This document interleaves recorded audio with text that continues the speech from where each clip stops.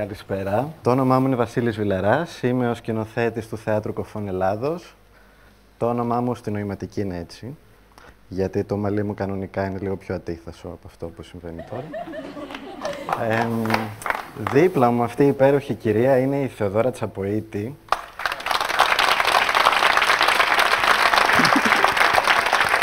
ή αλλιώς έτσι η οποία είναι από τη Σπάρτη, είναι διερμηνέας ελληνικής νοηματική γλώσσας και πάρα πολύ καλή στη δουλειά της, όπως ενδεχομένως θα έχετε καταλάβει τόση ώρα. Λοιπόν, εγώ είμαι εδώ για να σας μιλήσω για τη σχέση μου με το Θέατρο Κοφών Ελλάδος, τη δουλειά που κάνουμε εκεί και τη δουλειά που κάνω εγώ συγκεκριμένα εκεί. Αρχικά να πω ότι με το Θέατρο Κοφών Ελλάδος έχουμε την ίδια ηλικία σχεδόν. Γεννηθήκαμε και δύο το 1983. Εμένα, η μαμά μου και ο μπαμπάς μου. Το Θέατρο Κοφών Ελλάδος το έφτιαξε η Νέλη Καρά, ο στόχος του Θεάτρου Κοφών Ελλάδος είναι μεταξύ άλλων η διάδοση της νοηματικής γλώσσας και η ενσωμάτωση κοφών και ακουόντων καλλιτεχνών. Η σχέση δική μου με το Θέατρο Κοφών Ελλάδος ξεκίνησε περίπου το 2010, καθώς η Νέλη Καρά εκτός από το Θέατρο Κοφών έχει ιδρύσει και μια δραματική σχολή, την Αρχή, στην οποία φίτησα εγώ. Όταν τελείωσα λοιπόν τις σπουδές μου, η Νέλη Καρά μου πρότεινε αν θα με ενδιέφερε να αρχίσουμε μια συνεργασία με το Θέατρο Κοφών. Στην ουσία να το αναλάβω σκηνοθετικά. Το οποίο ήταν κάτι που εγώ το σκεφτόμουν ούτως ή άλλως μόνος μου, αλλά νομίζω ότι ντρεπόμουν πολύ να το ζητήσω. Οπότε ήρθε η πρόταση και με πρόλαβε και ήταν μια πολύ ευχάριστη συγκυρία της στιγμής.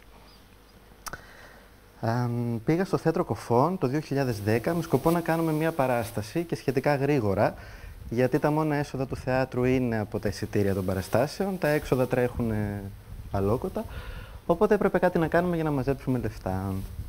Πήγα λοιπόν με σκοπό να κάνουμε τρεις μήνες, τέσσερις πρόβα και να ετοιμάσουμε παράσταση. Η αλήθεια είναι ότι ούτε κατά προσέγγιση δεν φτάσαμε αυτό το χρονικό διάγραμμα, καθότι για δέκα μήνες προσπαθούσαμε να συνεννοηθούμε μεταξύ μας. Δηλαδή να βρούμε έναν τρόπο να καταλάβει ο ένας τον άλλον. Αυτό που δεν ήξερα εγώ και φαντάζομαι πολλοί από εσάς είναι ότι η κουλτούρα των κοφών είναι ένα εντελώς διαφορετικό πράγμα από την κουλτούρα των ακουόντων. Είναι σχεδόν δύο σύμπαντα παράλληλα, τα οποία δεν τέμνονται πουθενά. Ε, οπότε έπρεπε να περάσει ο καιρός να προσαρμόσουμε κατέρωθεν τις προσδοκίες μας, να καταλάβουν ε, τι μπορούν να ζητήσουν από μένα και να το πάρουν και τι μπορώ να ζητήσω εγώ από αυτούς και να το πάρω. Οπότε φάγαμε έτσι 10 μήνες. Τελικά βρεθήκαμε σε μια κατάσταση στην οποία είπαμε ότι πλέον ναι, μπορούμε να αρχίσουμε πρόβες για μια θεατρική παράσταση. Ο τρόπος που γίνονται οι θεατρικές παραστάσεις στο θέατρο κοφών είναι ο εξής. Κανονικά υπάρχουν επί σκηνής μόνο κοφοί ηθοποιοί και νοηματίζουν το κείμενο. Αυτό αυτομάτως είναι περίεργο για έναν άνθρωπο που δεν γνωρίζει νοηματική να παρακολουθήσει την παράσταση. Οπότε από τα πρώτα χρόνια λειτουργίας του θεάτρου μπήκαν στη μέση και ακούγοντες ηθοποιοί, οι οποίοι αυτό που κάνανε ήταν ότι δανείζανε τη φωνή τους σε αυτό που συνέβαινε επί σκηνής. Το 1986, που ήταν η πρώτη επίσημη παράσταση του θεάτρου, οι ακούγοντες ηθοποιοί βρισκόντουσαν σε κάτι θαλάμους πίσω και από το ηλεκτρολογείο, στο βάθος του θεάτρου και δίνανε τις φωνές τους με μικρόφωνο. Περνώντας τα χρόνια, αυτό άρχισε να μετατρέπεται, ερχόντουσαν όλο και πιο κοντά, πιο κοντά, πιο κοντά. Αυτό λίγο πολύ είναι ιστορία, όπως την άκουσα και εγώ. Τώρα θα σας μιλήσω για τη δική μου εμπειρία που ξεκινάει το 2010. Στην πρώτη παράσταση που κάναμε μαζί με τα παιδιά, υπήρχαν ε, πέντε κοφοί ηθοποιοί επί σκηνής και τέσσερις ακούοντες, οι οποίοι βρισκόντουσαν διαγώνια απέναντι από τη σκηνή, σε σχέση και με τη χωροταξία του θεάτρου. Αυτό που συνέβαινε λοιπόν ήταν ότι υπήρχαν δύο πληροφορίες. Μία οπτική, η οποία ήταν στη σκηνή, και μια ακουστική πληροφορία, η οποία ήταν απέναντι από τη σκηνή. Ο στόχος μας ήταν αυτές οι δύο πληροφορίες να γίνουν ένα με κάποιο τρόπο. Δηλαδή, οι ακούγοντε ηθοποιοί θέλαμε να στέλνουν τη φωνή τους με τέτοια κατεύθυνση ώστε να συναντάνε τα σώματα των κοφών ηθοποιών και αυτό να γίνεται ένα. Το οποίο είναι μια πολύ πιο δύσκολη διαδικασία από ό,τι φαντάζεται κανένας. Είναι οριακά ακατόρθωτη δηλαδή. Και στις περισσότερες παραστάσεις απέτυχε. Δεν πειράζει. Όσο ζεις, μαθαίνεις. Και αυτό σημαντικό. Λοιπόν, στην επόμενη παράσταση, λοιπόν, αρχίσαμε να ασχολούμαστε με το να ψάξουμε το θέμα της παράστασης, το κείμενο, τι θα είναι, πώς θα είναι. Προσωπικά με ενδιέφερε να δω και τι θα κάνουμε τους ακούοντες ηθοποιούς. Οπότε σκέφτηκα ότι μπορούμε να τους βάλουμε σε μια ισοχή πλάγια από τη σκηνή.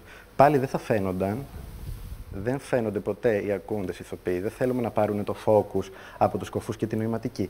Οπότε τους βάλαμε πλάγια σε μια εσοχή, ώστε να καταφέρουμε το οπτικό και το ακουστικό ερέθισμα να έρχονται από την ίδια πηγή, που είναι η σκηνή, το οποίο έγινε, είχε μια καλύτερη εξέλιξη το όλο πράγμα.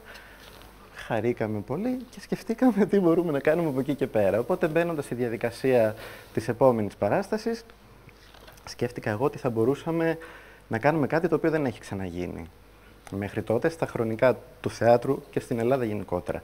Δηλαδή να βάλουμε ακούοντες και κοφούς ηθοποιούς ταυτόχρονα επί σκηνής και να δοκιμάσουμε ένα πάρε δώσε και το πώς μπορεί να αλληλεπιδράνε οι δύο κόσμοι, οι δύο γλώσσες και να δούμε τι θα γίνει με αυτό.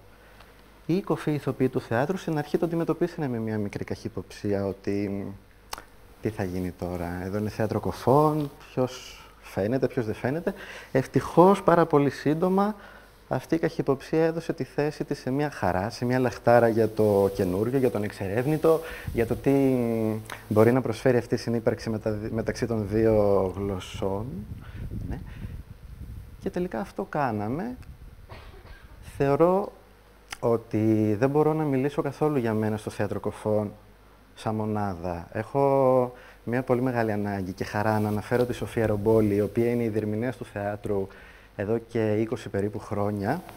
Είναι αυτή που στηρίζει το θέατρο όσο κανένας άλλος.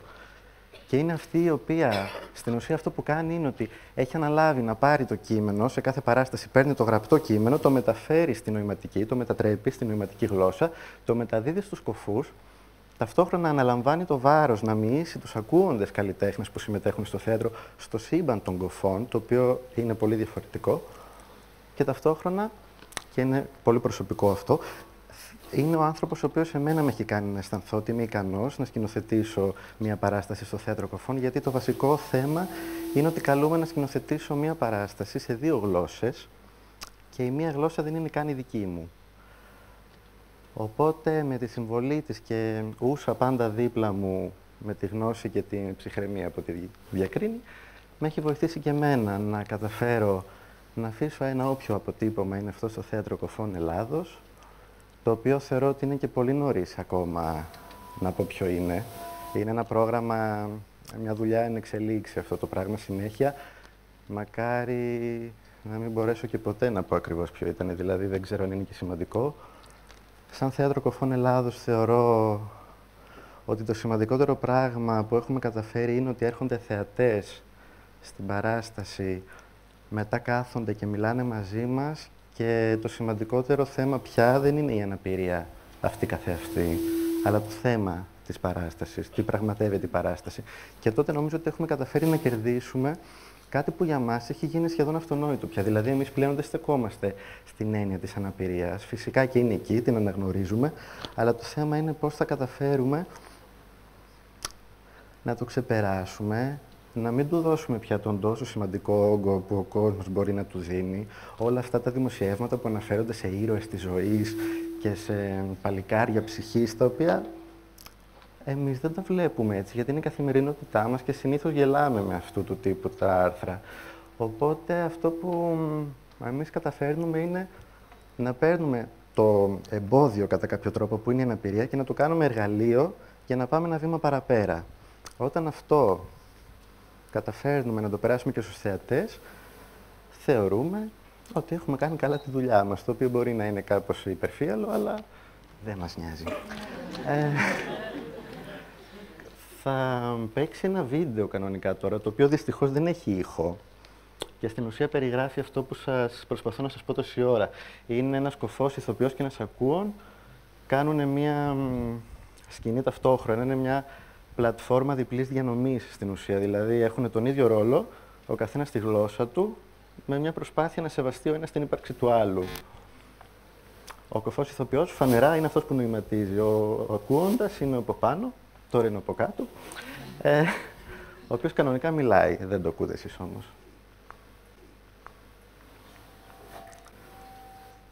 Το θέμα για μας είναι πάντα πώς μπορεί μια γλώσσα να συμπληρώσει την άλλη. Δηλαδή δεν θέλουμε σε καμία περίπτωση να πάρει κάποιος το προσκήνιο. Ακόμα και αν μιλάμε για θέατρο κοφών πια, δεν θέλουμε να είναι μόνο η κοφή. Γιατί αυτό που συμβαίνει τόσο καιρό στις πρόβες είναι ότι ακούγοντα και κοφή ηθοποιοί συμμετέχουν στην πρόβα με τον ίδιο τρόπο. Εκτελούν τους ίδιους αυτοσχεδιασμούς, κάνουν τις ίδιες οδηγίες σκηνοθετικές. Απλά λίγο καιρό πριν την Πρεμιέρα κάνανε ένα βήμα πίσω για να δώσουν το κέντρο στους κοφούς. Αυτό νομίζαμε ότι ήταν το σωστό. Καταλάβαμε ότι δεν χρειάζεται απαραίτητα πια και ότι το σημαντικότερο είναι να δείξουμε πόσο έχει ανθίσει η συνεργασία μεταξύ τους και κάτι που για μας είναι αποτέλεσμα μεγάλης δημιουργίας, να το μοιραστούμε με τον κόσμο. Δεν έχω να πω πολλά ακόμα, δηλαδή τελείωσα. Ε, θα ήθελα να πω κλείνοντας και αφού είναι ο τελευταίος ομιλητής, θα ήθελα να πω ένα ευχαριστώ ξανά στη Θοδόρα, η οποία είναι εδώ όρθια τόση ώρα και δεν Σας ευχαριστώ πολύ. Καλό βράδυ. Να είστε καλά.